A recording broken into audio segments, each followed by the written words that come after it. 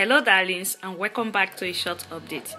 So, last night, the drama king and queen of BBN Nigeria 2018, Tobi and Cee C, tried to settle their differences. Actually, Alex was the masterminder. I think Alex saw Cee C crying and she was feeling so bad for her, and she persuaded Tobi to go and make peace with Cee C so they can resolve any issues they have together. So they sat down for a conversation, they were talking, but from what we all gathered, their issues weren't really resolved. Well, if I heard correctly, Cee C actually said she likes the distance, as in they should remain like this, that she doesn't want any more dramas or any more fighting.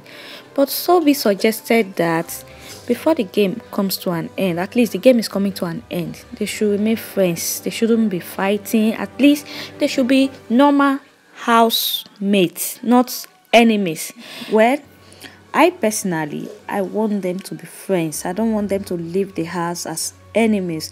Why some people want them back together, others don't want them. They should just come back together. There's no use fighting. The game is already coming to an end. It's just a game.